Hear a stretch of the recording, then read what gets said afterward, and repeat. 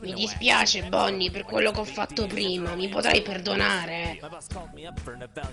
Ma certo che ti perdona, noi siamo amici, ricordatelo, eh. Ok. Mi stai strozzando! Ciao ragazzi, di che cosa parlate? Voglio restare un po' solo, per favore. No, Foxy, ti prego, voglio venire con te. Posso?